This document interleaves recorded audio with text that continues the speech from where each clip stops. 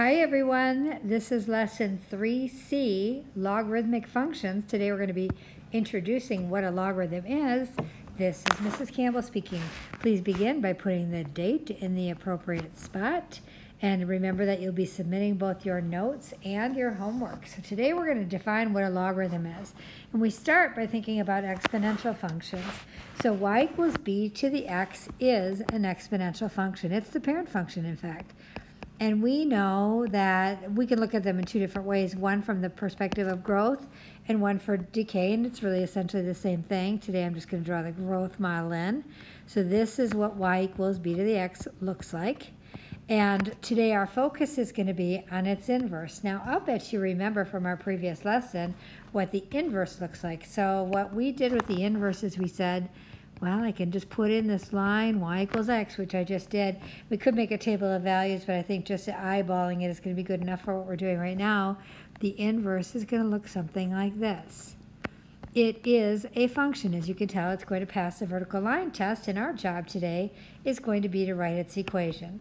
So using the switch and solve method that we learned yesterday, we would say that if y equals b to the x is the function we're interested in, its inverse is x equals b to the y. And as we said yesterday, then comes the and solve part. To solve this equation, x equals b to the y, we would have to somehow get y out of the exponent. So how do we do that? Well, some people might say take the y root of both sides. Please don't write this down. Let me just show you what happens if you do, though. If you take the y root of the left-hand side, and the y root of the right-hand side, what you do is you end up solving it for b. But did you solve it for y? You didn't. So that doesn't actually do the trick. So I'm going to erase that because that was not super helpful at all. And instead, I have to come up with a way to solve it for y. And that way is something called a logarithm. A logarithm is just a word that is used to tell us that we're looking to solve for an exponent. And so in this case, we would say oops, let me get back to my pen, the log with a base of b of x is equal to y. And you can see that now it is in fact solved for y. And that is the equation of the graph that we have drawn here in green. In our lesson today, our big focus is going to be in going back and forth between two forms, what we'll call the exponential form and the logarithmic form, just to become familiar with logarithms and then using logarithms to find um, certain values. And so really today is just all about getting to know and getting comfortable with this thing called a logarithm. Some people think they're hard because it's a weird word. Um, it's not. It's not really a big deal. We just have to get really comfortable with going back and forth between the two. So in saying that, in the box at the beginning, it says here y equals log base b of x means exactly the same thing as b to the y equals x. We just have these in different forms. This form that I have on the left-hand side is what we refer to as log form and the one on the right is what we refer to, refer to as exponential form. And honestly, sometimes I like one form over the other. Sometimes I like the log form. Sometimes I like the exponential form. And what we need to do is just get really good at going back and forth between the two. So, in other words, y equals b to the x and log y equals log base b of x those are inverse functions, and that's what we began with today in the graph. So y equals b to the x is the blue graph that I have, and y equals log base b of x is the green graph that I have. Those are inverse functions. Now, in again, in our goal today, we're going to be really practicing going back and forth between two different forms, but it turns out that some logarithms are more important than others. There are logarithms called common logs, and there are logarithms called natural logs. Those two are the most popular logarithms. In fact, if you were to look at your calculator right now, assuming you have a graphing calculator, you're going to see two buttons for logarithms. One says LOG, that is called the common log button, and the other one is LN, and that is called the natural log button. So a common logarithm, what exactly is it? It is a base 10 logarithm. Base 10 logarithms are super popular, more popular than other logarithms. So we kind of get tired of writing the base every single time.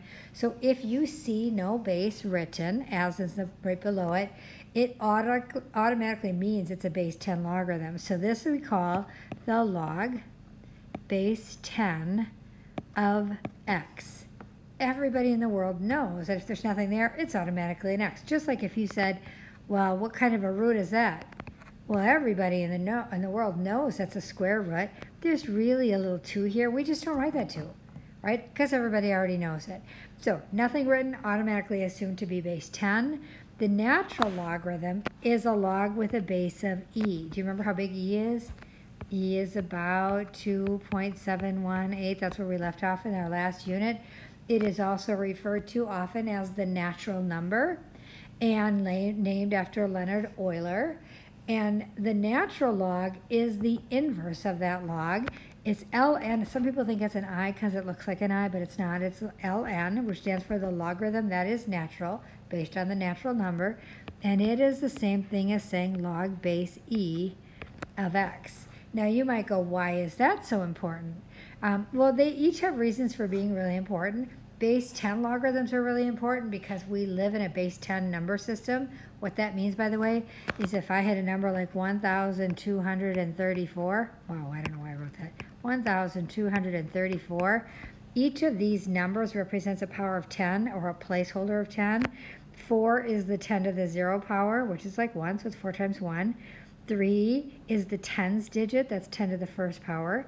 2 is the hundredths digit, that's 10 to the second power. And 1 is the thousandths digit, that's 1, uh, 10 to the third power. So these are, that's the kind of number system that we work in. Logarithms with a base of e are used often when we talk about continual growth. You might remember that in our last lesson we talked a lot about y equals e to the x. Well, the inverse of that, of course, is log base e of x. And things that grow continuously, we want to use base e logarithms for those. Today, it's not about that. Today is all about just getting really comfortable with logarithms and just learning how to go back and forth between them. We're not going to do a lot with using them today because we first have to kind of be familiar with them and then we'll go um, in that direction. So express each in exponential form. So I have four problems here. They are all written as logarithms right now. I want to write them in exponential form. So the first thing you have to know is, what's the base? Well, this little tiny number right here, that is called the base of the logarithm. It is also called the base when you write it in exponential form. So if you come back to the top up here, see this, and I'm going to make it a little bigger so you can see it better. I'm going to try to make it bigger. Apparently it's not going to let me. Oh, there it is. All right, see this little base right here, this little b? That's called the base of the logarithm. That b is the same b that you have here, which is written as a base in exponential form. So for this first example, when I say log base 2 of 16 equals 4, the base is 2. Next on our list, why do we even have logarithms? We have logarithms so that we can solve for exponents. So if you look in log form, the thing that becomes the exponent is the y. Notice that that's the exponent. It is what is solved for. So in this case, what's the exponent going to be? It's going to be a 4. The whole reason we have logarithms to solve for exponent. That one's solved for the exponent, which means 4 is the exponent. And that's going to equal 16. 2 to the fourth power is 16. In the next one, would you write down what you think the base is? I hope you wrote A. Then the next thing would be, what's the exponent? Well, remember logarithms, their whole purpose is to solve for an exponent. So whatever this is solved for is the exponent. In this case, that's a W. And then the leftover number, that's what goes here. Now, as you move into the next two examples, you'll see in the next one, you don't even see a base there. There's nothing written. That doesn't mean there's nothing there. It is. We just don't write it. We get lazy because this is a super popular one. Everybody knows it's a 10. And so I'll write this as 10 to the power of, well, what's the logarithm for? To solve for an exponent. So what's the exponent have to be? Whatever the log is solved for, in this case 5w, and that's going to equal 4. Final problem says ln. I think as I'm learning to be more comfortable with natural logarithms, I sometimes will write this as a log base e just to get kind of used to that. And then I would say, well, the base here has to be e. remember that's just a number. Logarithms, their whole reason for existing is so that you can solve for an exponent. That means c has to be the exponent equals r. All right, so that is how we go from log form to exponential form. In the next set of problems, we're going to do the reverse. So now I'm going to go from exponential form to log form. And to do that, what you're going to do for all of them is you're going to write down the word log, first of all. The next thing you're going to do is you're going to figure out what the base is. So you look at it in exponential form and you say, well, what's the base here? Whatever has an exponent on it, that's what we call the base. So the base here is a 2. Now be careful, please. When you write that 2, it is a subscript. And what that means is that it's smaller than the other letters and below the line. All right, so it's log base 2 of uh, the next number. Um, and that's going to equal the exponent. So what's the exponent equal to? Because remember what logs are for. They are to solve for an exponent. Exponent here is 5. And so then the 32 goes in here. And when you read that, you read log base 2 of 32 equals 5. Now some people will say the log of 32 base 2 equals 5. Either way is fine. All right, second example. Write down the word log. What's the base? Well, whatever has an exponent is what we call the base. In this case, that's an A logarithms are for exponents, so it's going to solve for the exponent. The exponent here is that fancy typewriter G, and then we would write K. So you would read that as the log base A of K equals G, or if you wanted, you could say the log of K equals G. I'm going to hit the pause button now, guys, and I'd like you to try the next two on your own. Go ahead and do that now, please. All right, so here did you, how did you go? I would write this as log base 10 of d equals r. Did you do the same? Did you maybe write log of d equals r?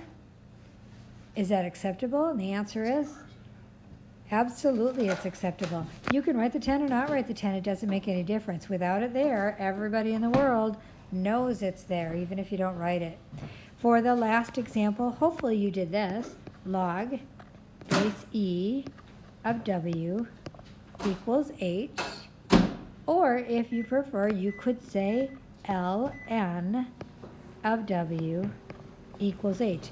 Either way is fine. It doesn't make any difference. Again, we're just building our comfort level with going back and forth between our two different forms. All right, let's move on to our next page. In the next page, you'll see that I have a whole bunch of equations that say log, and it says to find each without a calculator. Now, before we actually do that, let me just mention that logarithm is an operation and results in a value when you do a logarithm. Very much like if I said to you, what's the square root of 4? You would say, well, that's just 2. Square root is an operation, and it results in a number.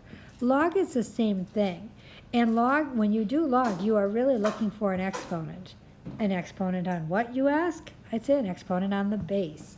So in looking at that first example, what I am thinking is I want to know what power on the base, the base here is a 5, so what power on 5 results in 25? Now hopefully you would look at that and say, well that's just 2. But if you didn't know, and you won't always just know right away, you might be thinking like this. So I'm going to do little thought bubbles here. These are my thought bubbles. That's what I'm thinking about. I'm thinking 5 to some exponent equals 25. And my question is, what's the exponent? And of course, that exponent is 2. Let's try that with the next one. The base is 2. 2 to some power. Remember logarithms? We're just going to tell us what that power is. 2 to what power is 16? Now it says without a calculator. That makes an assumption here that we can do that without a calculator, and I think we can. Let's try it. Is it is it 2 to the first power? Well, 2 to the first power is 1, uh, is 2. That's not it. 2 to the second power is 4. That's not it. 2 to the third power is 8. That's not it. 2 to the fourth power is 16. That's the one we want. It is 2 to the fourth power, so this one is 4. All right, would you please try the next one on your own?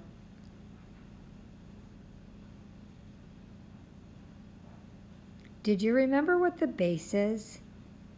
Oh, I hope so, because nothing's there. Everybody knows, all the cool kids do anyway, that it's a 10. So 10 to some power is 100, and hopefully you wrote that as an answer of 2. Now sometimes they get a little bit trickier, and our next one's a little bit tricky, and in order to be able to answer what that next one is, we're going to have to remember some of our properties of exponents. Um, one of the properties that we're going to need to know in this case is this one. When you have a to the 1 over n power, that means the same thing as the nth root of a. Do you remember learning that just a few weeks ago? And I'm going to use that one right here. So when I see as the square root of 5, I'm going to actually use it backwards. And I am thinking like this. 5 to some power is the square root of 5. And then I'm thinking, well, I know that the square root of 5 is the same thing as 5 to the 1 half power. The question is, what's the power? Well, the power is, of course, 1 half. When you see radicals, you should be thinking about that property. Uh, you'll see that again. Oh, let's jump way down here when it says log base 7 of the fifth root of the square root, uh, the fifth root of 7. You'll use that same property there. Right now, here's another property that we're going to need. So I'm going to get off to the side here. Let me scribble this one out of the way. There's another property that involves fractions, and you might remember this. A to a negative power is the same thing as 1 over a to that same power but positive. We're going to use that one today as well. Again, we're going to use it backwards though. When you see a fraction as you do in the next two examples, you're going to be thinking about that as written um, without the fraction. So when I look at this number um, 2 on this line, I'll say 6 to a power is 1 over 6. And I remember that 6 to the negative 1 is the same thing as 1 over 6 to the first. So what's the power? It's negative 1. All right, well, let's see if we can't do that same thing with our next one. 3 to what power is 1 over 27? Well, 27 is a power of 3. It's 3 to the third power. So that means that this would have to be 3 to the negative third power. Thinking about that property, that property says take that that base, put it in the bottom, make the exponent positive. So 3 to the negative 3 is 1 over 27. I'm just using it backwards today. So what's the power? It's negative 3.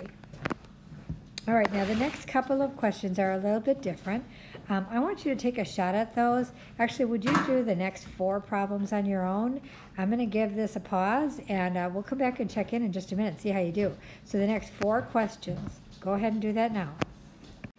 All right, let's see how you did, guys. I'm going to switch color here so we can read it. Um, so looking at this next one, it says ln, and of course everybody knows that ln is log base e. So if I write this as log base e of e to the fifth, and I'm thinking about the base, that's e, to the power, I don't know, is e to the fifth, I think it becomes real apparent that the answer is 5. Did you get 5? Good for you. Now the next two are a little tricky. I wonder how you did. Let's try it.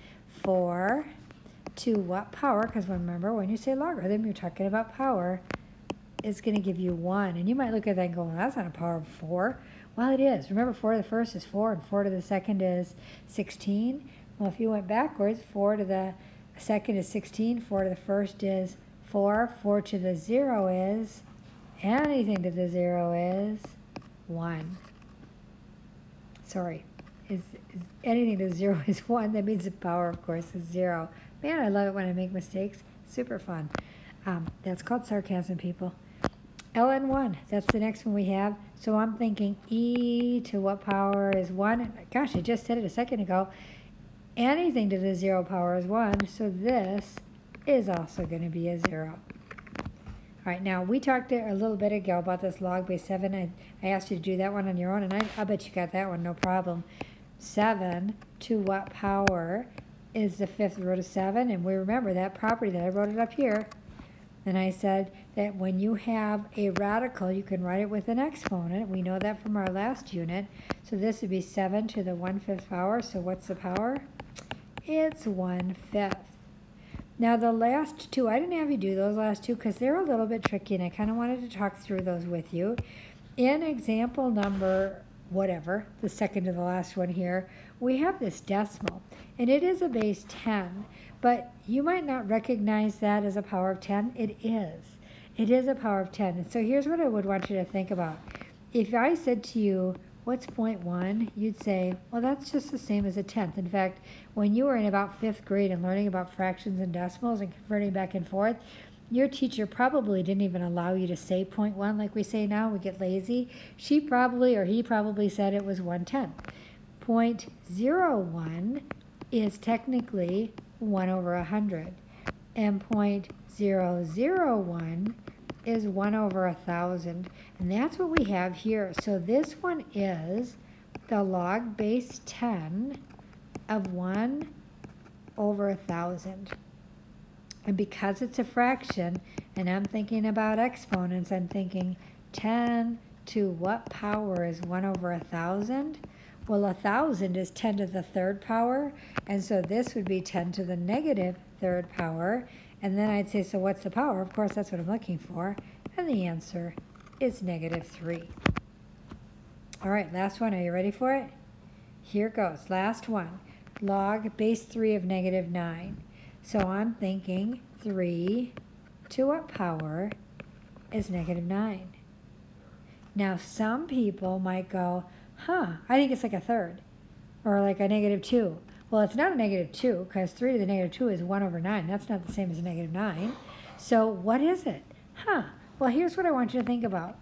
If you were to graph y equals 3 to the x, that's exponential growth, and it looks like this. In thinking about this, does this thing, this graph that I've just drawn, does it ever become negative? And the answer is no. In fact, there's a horizontal asymptote there. That thing's never going to be negative. So does log base 3 of negative 9 even exist? And the answer is no. It is undefined. In fact, you can never take the logarithm of a negative number. Never. So this one does not have an answer. Oh, that was really tricky, kind of mean, but there it is. All right, now we're going to go on to the next one. It asks us to do some solving. It says solve each equation below. So to solve these equations, um, take a look at, they're all logarithm equations, but all of them, the x is sort of buried within that equation. So how do you get the x out of that equation? Well, you write it in its other form. So I'm going to switch problem number one here into exponential form. So what is the base of the logarithm? And that will be the base in exponential form. That is, of course, an x. What's the power going to be? Well, the power will be whatever the logarithm is equal to. That's a 3. And that's going to equal 1,006, or excuse me, 16,807. So how do you undo a third power? You take a third root and you have options about how you type that on your calculator. You can type it with a one-third power, which is typically what I do because I don't have to go into any menus to do it. Or you can go into the math menu and select the third root. So you type it however you want. I'm doing the same. And you know how I'm doing it, right? Oops, but then I did it wrong. so funny. Love it when I make mistakes. I hit 33 instead of 3. All right, I ended up with a value of about 25.62 if I round to hundreds. Do you agree with that? I hope so. All right, let's go on to the example two. In example two, I'm going to write that, again, in exponential form. To get that x, which is currently buried in the equation, unburied, to dig it out, we write it in exponential form. The base here, well, none's written, so automatically it's a 10. And then the power, that's what logs are equal to. And that's going to equal whatever a number is left. In this case, that's an x. And that's kind of nice because I don't have to do any solving here. This one is solved for x. I could say that's my answer, or I could type it in. I'm going to type it in. So 10 to the negative 2.1 is about 0.0079. I went a little farther than um, the hundredths digit because it's such a tiny number. All right, last one. In our last example on this page, it says ln 2x minus 1 equals 3. It's kind of like the last one I just did, only it's not base 10 this time, it's base e. So e to what power? The third equals 2x minus 1. I'm going to go to my calculator on that e to the third right now, so I'll go second ln, that's the e to the button, we used that in our last unit. I'm putting in that third and I get 20.0855 and a bunch more. That's equal to 2x minus 1. And then I'm going to add 1 to both sides. I'm not even going to write that down. And then I'm going to divide both sides by 2 and get an answer of, let's see if this works, 10.54 is about the value of x. All right, hopefully you're agreeing with me. Our big goal again today, remember, is just going back and forth between logs and exponents. Sometimes you want log forms, sometimes you want exponents. So far, we've done a whole lot more of going from log to exponential form. The other will happen as well, um, and we'll see more of that as we go. All right, we have one question left that we want to look at, and it's a word problem. There are lots of things that are written in logarithmic form um, on purpose, usually because the numbers that, that represent them are super tiny. And here's one example. The intensity of sound, called I, is measured in watts per centimeter squared. Its relative intensity is given by the more common unit, which is in decibels. Decibels are something that we're all really uh, uh, familiar with. Um, the intensity of sound, I, we're not as familiar with that. These are related by the equation decibel equals 10 log I plus 120. The reason why it's written in log form is because the I values are typically really tiny numbers. And by taking the log of them, we end up with numbers that make more sense or easier to compare. So here is an example. A typical clock radio alarm goes off with an intensity of 0.0001 watts per centimeter squared. How many decibels is that? Well, that's what this equation represents. So this number here, this is your I value. And what we want is the decibel value. So I'm going to go to that equation and I'm going to write the decibel value, dB, is equal to 10 log I, which is 0.0001, and then plus 120. Now this actually is one that we could do on our calc or without a calculator because 0.0001 is the power of 10. Um, but I'm not going to. I'm just going to use the calculator to type this because most of the time it won't be like that. So grab your calculator and again, find that button that says log. That is a base 10 logarithm, which is exactly what this function is. And type 10 log. And then notice when you hit log button, you get left parentheses. You will have to put those uh, the right parentheses in after the 1. So you write 0.0001, close the parentheses before you add the 120. Now I wrote it that way on purpose and now I've typed it that way as well. And I get 80. So 80 decibels. That's a more familiar kind of number. It tells us something about how loud it is. A clock radio alarm, that's kind of the typical clock radio alarm, is at about 80 decibels. If I said it's, oh, it's up 0.0001 watts per centimeter squared, you'd go, huh? Right? Okay, let's go backwards. A firecracker registers at 145 decibels. That is um, almost twice as much as your clock uh, radio, right? And we want the intensity of the sound. So in this case, the decibel level is 145, and I is what I want. So I'm going to go back to that equation way up here. I'm going to replace decibels with 145. I'm going to write 10 log I is the thing I don't know. I'm going to leave that as an I plus 120 and then I'm going to have to solve it. Now we're going to solve it first of all for the log of i and see where that takes us. And we'll do that beginning by subtracting 120 from both sides.